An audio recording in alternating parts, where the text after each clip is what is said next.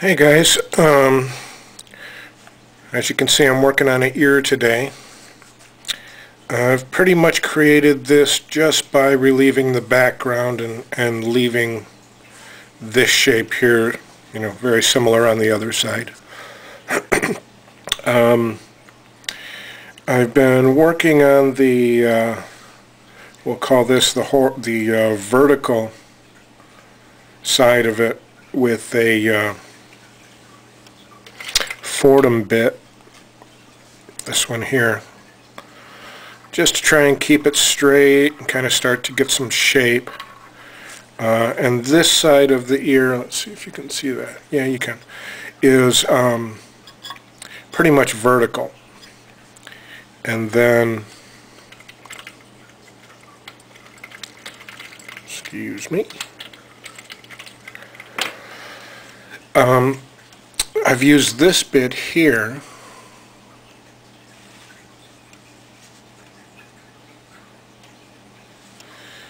to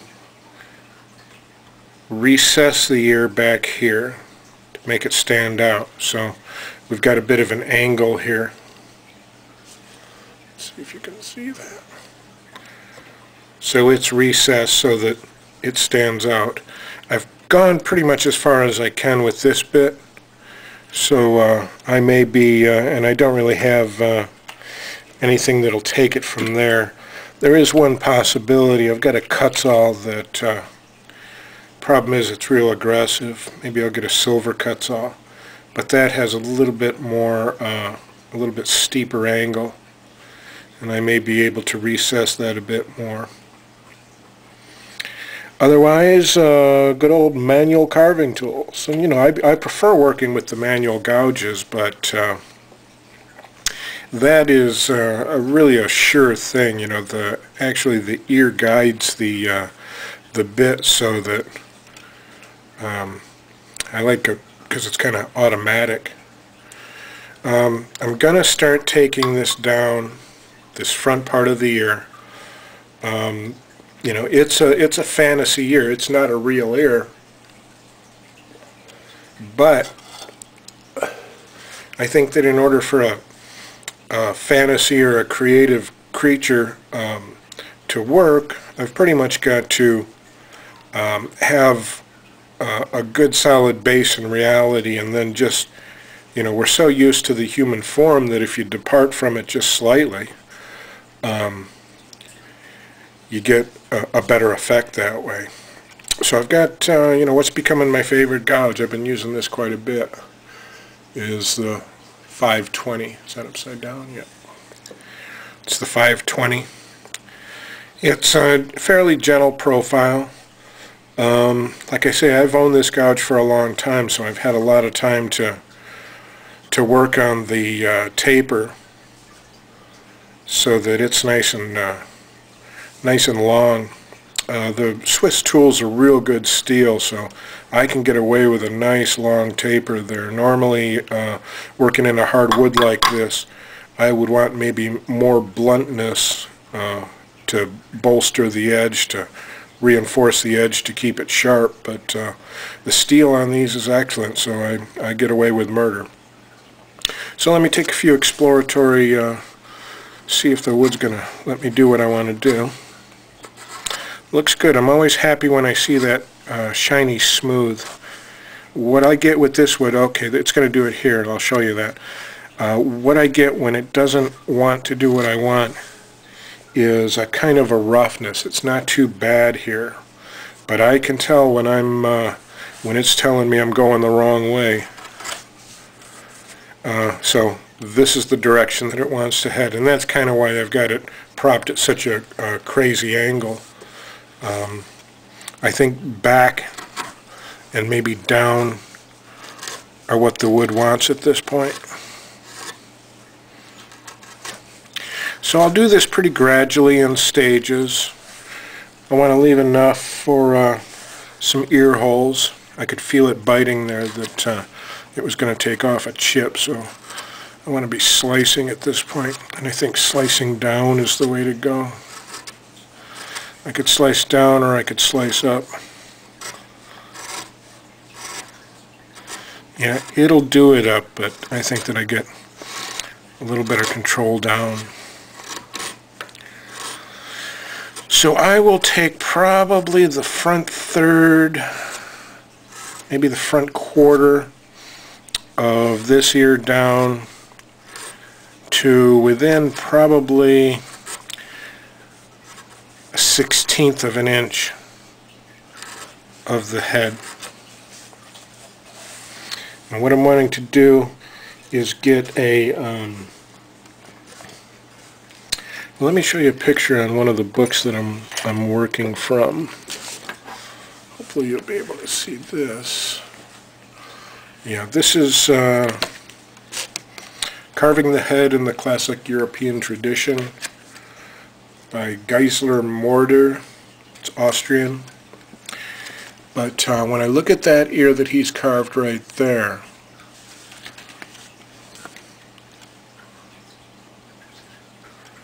see how close we can get. Right there. Um, you see how it's, it pretty much emerges, the rear part emerges, and the front part, um, it slants and tapers back this way. So um, I'm going for probably a similar effect on this, that it will emerge from the side of the head at the beginning and then I will continue to work the back of the head back. There's some of that roughness, if you can see that. That was telling me, uh, in fact on the other side was where I busted out that chip in the other video. But that roughness is telling me it does not like the direction that I'm going. I wonder if down, no, down is what it does not like. So, you know, at best, straight back is what the grain seems to want.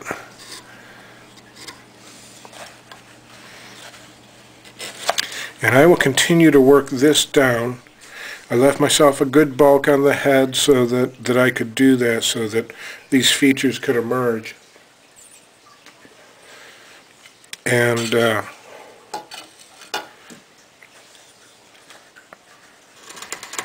so I'm going to keep working this ear. This is one of those places I can't carve any wood back on, so I'm going to do it gradually. I'll carve it for a while and then look at it and try and decide if I want to pursue this line further. I think you get away with murder when you're coming into an edge like that. If I was coming this way, I'd be a lot more nervous that I'd get tear out it could give way at any second because I'm pushing the edge whereas this way I'm pushing into the edge so I'm liking it so far I'm gonna have to reset this and uh, at least get it flat so I've got a pretty long way to go to to remove material on either side of it so that the wingtip of the ear stands out. Um, I'm going to want to be at an angle almost like that. So in order to do that, I've got to remove everything behind it to make it do that.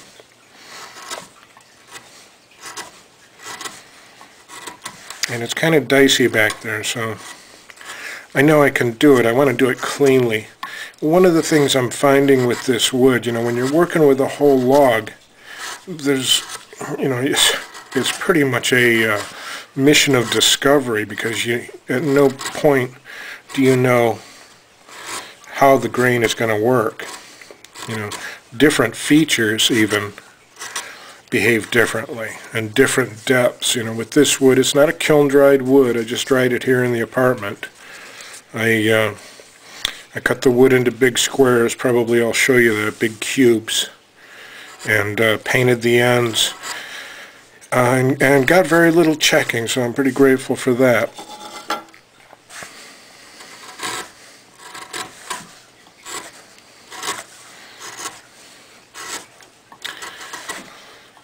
With these various steps You know, I'm, I'm not sure how much I'm going to be able to relieve it back here. Like I say, I've left myself a lot of mass, and it's a fantasy head. It's not a human head, so um, actually the this at this point it's a little too normal. So any weirdness that I can carve into it's going to be a benefit. And if I have to do some uh, you know, some weird indents or lobes in the back to get the ear to stand out the way I want, uh, I think that uh, that's going to be a nice balance. I'm seriously considering, um, like I say, I've got two more blocks like this. I'm seriously considering uh, a big set of wings for the back. You know, that's almost another big project on its own, and I've been working on this one forever. I, you know, I, I start it and, you know, lose interest and come back to it. Uh, once I got the Foredom, that really allowed me to uh, get into some of the deep recesses that I needed to that I, you know, I'd pretty much come to a, a standstill with the gouges. I'd gotten as deep as I could. You know, it's, uh, it's a good eight, maybe nine inches from the edge of the wood to the where his uh, crotch would be probably back here. So that's really deep, and I, I couldn't get it any other way than motorized. And probably the Foredom was the only thing that was going to be strong enough to get there. One of the things that I've kind of learned not to do, especially in the head area where every every feature is critical and every stroke uh, can be a mistake, is um, uh, not get too addicted to pushing the gouge through the wood. You know, that can really be, I can really get lost in the carving process and uh, go deeper and remove more stuff than I wanted to. So uh, I kind of make myself stop even when it's going smooth like this, just to reevaluate, you know, work on something else, some other part of the carving or some other doodad and uh, give this time to incubate. Because also with an ear, you know, like with eyes, you got two and they've got to match. So I'll do maybe another 32nd of an inch here.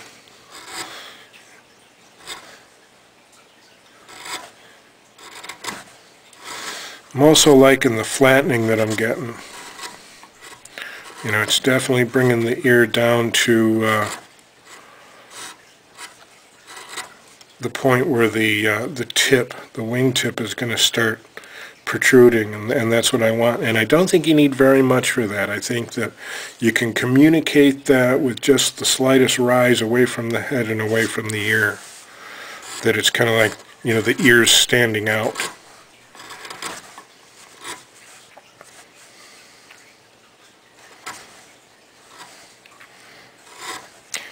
I'm comfortable with it. Uh, in this book I was showing you, he actually takes it flat here, and I may be able to do that. But I'm still going to want to um, somehow communicate that this is where the ear starts. So uh, we'll see how that works. I've got some clay. I may try and uh, model it in clay, but uh, I think that's probably it for now. I'll do a couple of quick uh, sweeps with the uh, reciprocal Foredom. I'm continuing to work this neck back.